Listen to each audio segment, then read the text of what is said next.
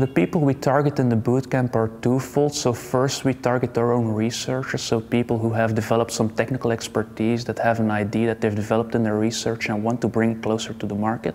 So this is one group. A second group is external people that have worked in the industry, that have seen some opportunities and are really trying to build a new venture, but lack the technology expertise.